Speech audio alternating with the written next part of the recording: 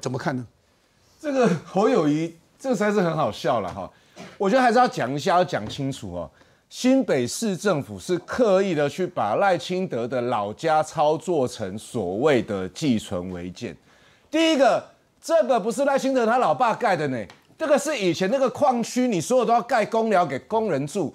黑喜黑的西村政府要求你留爱盖，所以不是他老爸去找一个地方我自己盖，不是那边似乎都是这样子。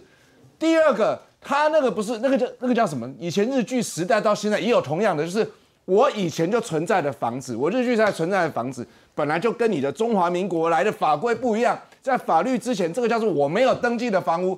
这个不叫违建，但新北市府很坏，故意用了这个东西，里面讲说这是寄存违建，他的目的不是在讲说我缓拆不拆啊，他的目的在就是要把你贴个标签说赖清德你这个是违建，他那个就不是违建。如果赖清德这个事的话，全台湾刚刚勇哥讲过，全台湾过去所有的矿矿区，这个状况很多，新北市政府自己也弄了一个函，伪检点新北市的议员，你刚刚实在是。他自己也问内政部说：“哈，来，现在面对这些事情，你怎么解决嘛？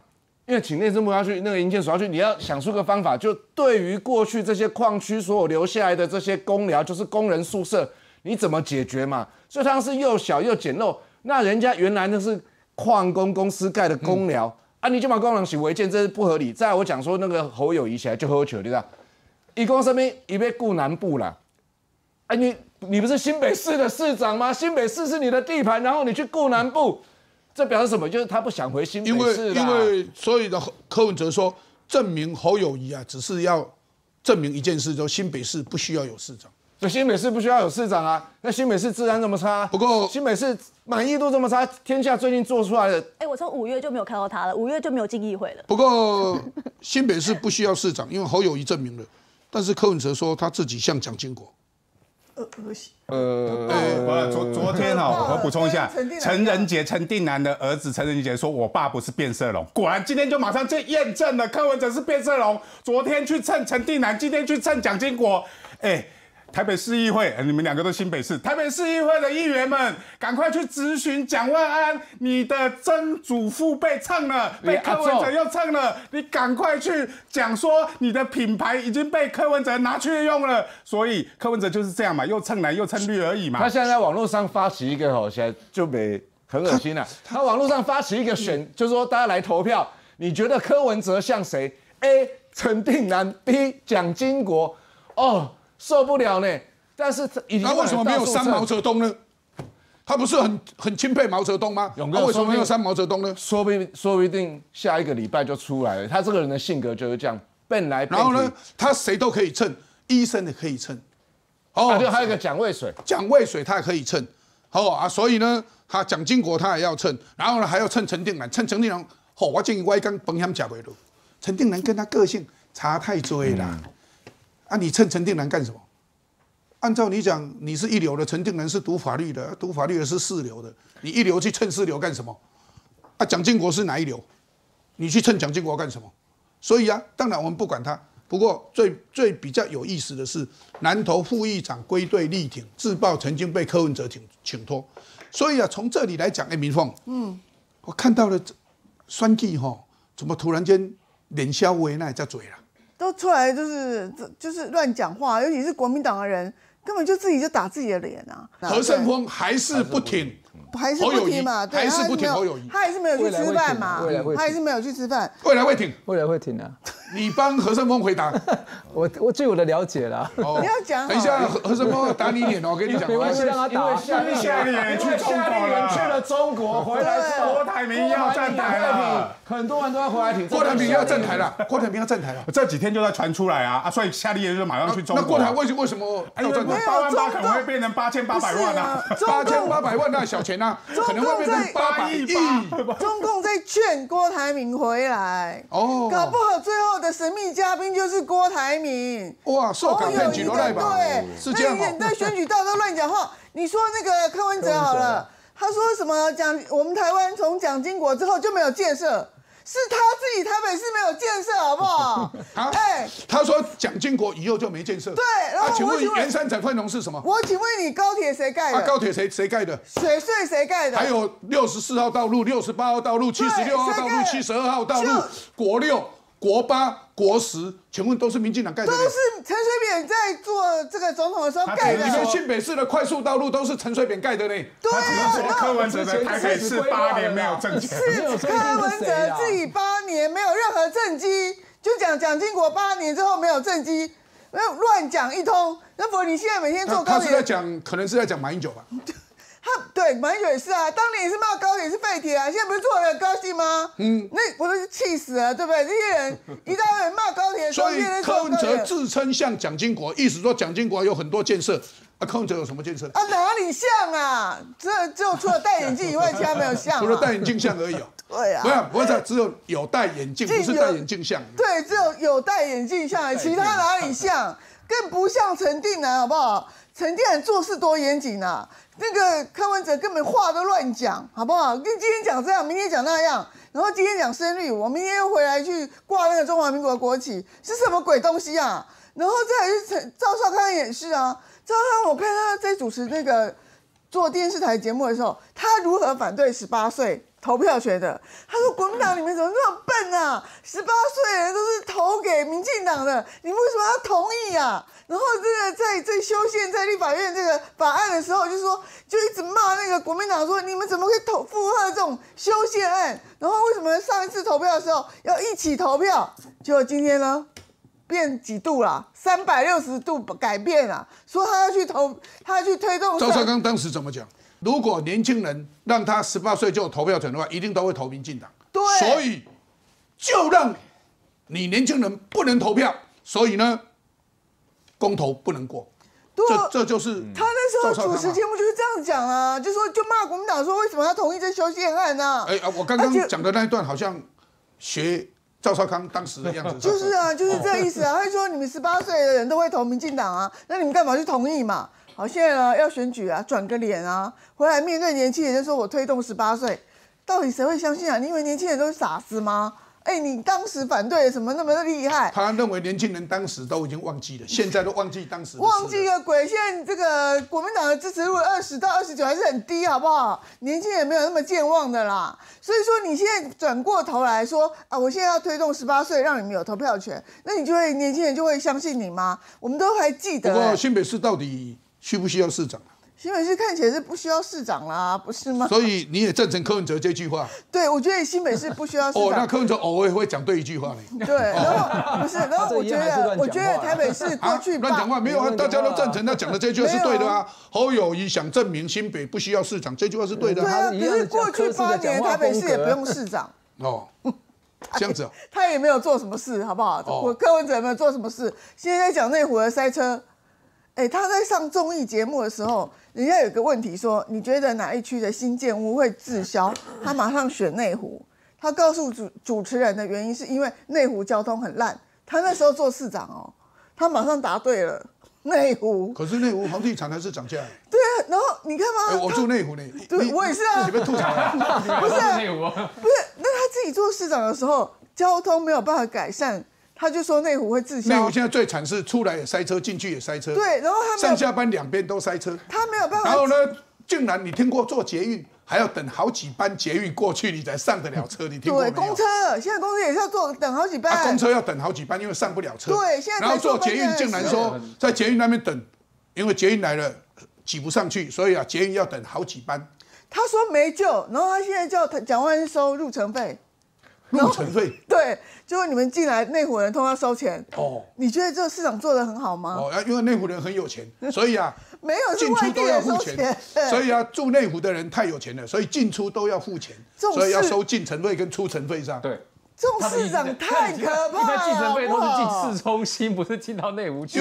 内湖是内湖是二十四小时两边都塞车，对出来也塞车，进去也塞车，所以出来也要收出城费，进去也要收进城费。哎呀，这个柯文哲果然太聪明了，我告诉你，柯文哲说新北市果然是十五点七，不是一百五十七。说新北市没市长是对的，但是我告诉你，台北市过去八年有市长比没市长还烂，更糟糕。对，哦，好，那个 敏凤啊，这一局这一这一巴掌打得很用力。不过要让大家看一件事，赵少康改口挺十八岁公民权，为什么？曾经昔日他拍桌呛说：“我就不让你们年轻人投票了，怎么样？”哦，我告派，因为他反对十八岁年轻人就有公民权可以投票。十八岁能不能投票，必须要修改宪法。所以这个时候，当时赵少康他是反对的，所以这个公投果然没有过，就没有成功，因为国民党就在公投就不配合了。所以在这样子的时候，很多立委就说骗票啦。我们看个相关报道来。经警调追查，幕后主使就是国民党的王文宗，而他更是国民党贿选议长李全教最好的朋友。民进党公布影片，直指八八枪击案的主嫌就是王文宗，要国民党别再抹黑栽赃给民进党，因为王文宗曾任国民党中央委员，更是朱立伦竞选总统时学甲区的主委，和国民党关系密切。朱立伦却说他不认识王文宗。云林风电弊案，国民党就是主犯。民进党炮轰不止黑枪，国民党还涉及云林风电弊案。云林议长沈宗龙就曾涉及向业者收贿两千六百万。林楚英批评国民党左手骂绿电，右手却收绿电的钱。你们许多的高官都转任到绿电的绿能公司来担任他们里面的独董，以多次召开记者会来质疑民进党绿电的王宏威为例，他自己也被调出从。一百零七年议员选举的时候，就拿了绿能公司的五十万。侯友谊，你现在所牵起的手，到底是谁的手？是黑手，是脏手？要侯友谊说清楚、讲明白，不要对黑手、脏手视而不见。所以啊，十八岁公民权，国民党攻一头做一头，其中赵少康是最好的例子。当时是不给年轻人投票，我就不给你让年轻人投票了，怎么样？现在说，哎，他要挺十八岁，这不是骗票，这是什么？怎么再看？侯友谊提延长课后照顾，所以说小朋友啊，尤其国小，下课以后继续留在学校，有老师继续来辅导。全教总立即出来打脸，说学校不应该替代家庭。哎，家庭教育其实比学校教育更重要，尤其是在品德各方面的教育，都是在家庭完成的。结果他把所有的责任都丢给老师，丢给学校，所以引起很多老师等等的相关的反对。全教总出来讲话，侯克服政见 IP 讨好选票。赖静总啊批评说侯才在害台湾的下一代，反驳台南的八十八枪，绿营公布黑枪金光党两支议题的 CF。民进党今天强调，台南八十八枪主嫌就是国民党的王文忠，还是李全教的好朋友。另外，云林县议长沈宗荣于二零一九年，达德能源与云林推动风力发电厂向业者索贿两千六百万元。今年七月，依贪污等等治罪条例罪嫌起诉，所以我看到很清楚。所以国民党当时一直打所谓的黑枪八十八枪在台南，然后证明说原来是国民党的王文忠干的，根本就不是民进党啊呢。所以诶，伟山是是到底像在骗票，上面人在欧北讲。当然是国民党啊！哎，国民党其实也是在台南地区投资绿电最多的政党。其实李全教本身他的家族有好几个投资公司，全部都大量投资绿能。他甚至买了三十二公顷的余温，就是要拿来做这个洋水种电。所以你会看到，其实这个背后这个利益盘根错节，其实国民党是比较深的。我们看到王文忠他在前一阵被起诉，因为他这个八十八枪的状况嘛，我们可以看到他里面这个调查书写的非常清楚，王文忠就是国民党最大在学甲地区的庄脚。我们可以看到他在国民党，他是担任国民党第二十届的中央委员，还有二十届的全国党代表。所以我们会看到国民党在他的党中央的这个呃网站里面，其实都非常写的非常清楚，就是他本人。所以他一直来跟国民党关系非常的密切。那我们知道本身他就很有钱，然后他也是这个地方的这个大庙的这个董事长，所以其实国民党的人都跟他非常的密切。我们看到朱立伦其实也是过去呃委请他来担任他的竞选总部的主委，在学甲这个区域。那包含像谢龙龙介啊，也是切割说什么不认识他，可是最后也发现他就是这个谢龙介最大的这个庄脚，甚至还有一起这个商业的伙伴的这样的一个关系。所以国民党完全是在跟这个事情做切割。但是今天早上我们的记者会，我们就是完全把这个脉络都拉出来，甚至我们还发现王文忠跟中国的密切关系也是非常的紧密的。他也是担任这个白狼这个张安乐他们这个统促党在学甲地区，还有一个青方党部的这个后援会的这个会长。所以你会看到这个蓝白是一家，呃蓝红是一家亲。我们看到看到这个绿色光电这样的事情，其实真的都是国民党拿到利益，就把帽子扣在民党的身上。我要跟大家说，这个事件从发生到现在啊，国民党的这个有台啊，这个相关的政论节目，天天几乎每一天没事就把这个拿出来讲，抹黑民进党。可是我们要知道，跟这些坏人称兄道弟的，就是国民党；赚取利益的也是国民党。他们吃干抹净之后，再来扣帽子到民进党，同样说是民进党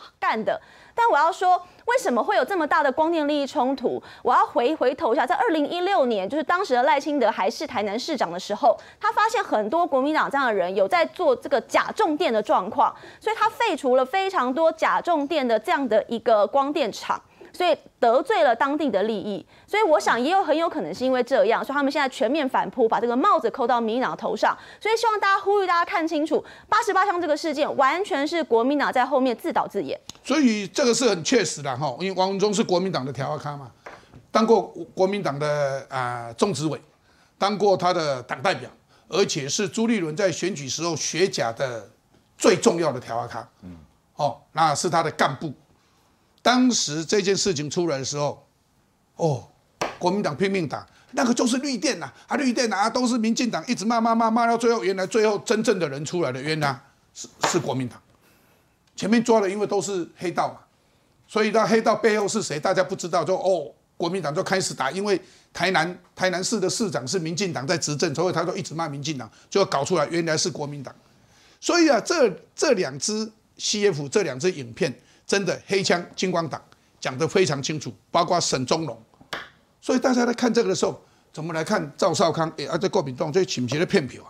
其实对国民党或对赵少康来讲，这个让大家觉得骗票骗最难听的是什么？你知道吗？是人家学生在这个问赵少康，你们国民党提名的这些黑金的候选人，而且讲了好几个，包括严宽的名字在内，问赵少康。然后赵少康的事情是跟赵少康回答是告诉学生说：“哎呀，不要这个祸连好几代啊。”这意思就是说，不要株连那个他其他的人的意思，就是所以罗明才他说罗明才是一个很客气、很有礼貌的人，然后所以呢，他意思就是他跟黑金好像没有关系。然后说严宽和那个都是爸爸的事情。哎，勇哥，你要知道，对学生来讲，现在这个时代要上网 Google 是多简单的一件事情。你意图要撇清，但是撇清的过程里面，学生上网 Google 的时候就会看到跟这些人有关的案件在上面嘛。是赵少康有一句话回答的是很玄，真的很厉害。人家问他说：“哎，你们怎么都提名那么多有黑道背景的立委候选人呢？”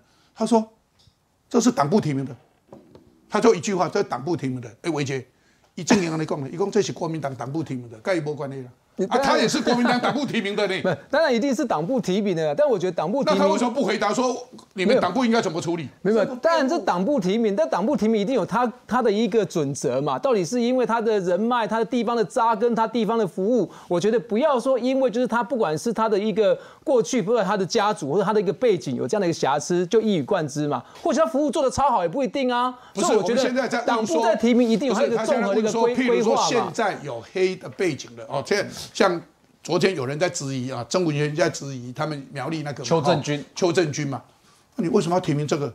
啊，人家问着说党部提名的，党部提名的。当然我说党也通了。当然在，我觉得党部当然会综合提名考量嘛。那我觉得最终决定还是选民嘛。党部居然已经提名他，一定有任何所有的综合的考量，一定是利大于弊，他才会提名他。对了不要推，不要推。为什么要推给党部啊？侯友谊这个柯文哲他他他不是我们这个选队会里面的成员啊他是，副总统候选人，他是候选人候选人，但是他他不负责提名他也啊是。党部提名的，所以他跟这一些立委。啊有黑道背景被提名的立委候选人是同一个等级，都是党部提名的。不，哎你不能推给党部？提名。那我直接问嘛，侯友谊、柯文哲去台南的行程都一模一样，先去七股，然后骂八十八枪，啊然后说骂黑呃黑金，然后光电的利益无为不为，然后接下来下一个行程一定都去找李全教。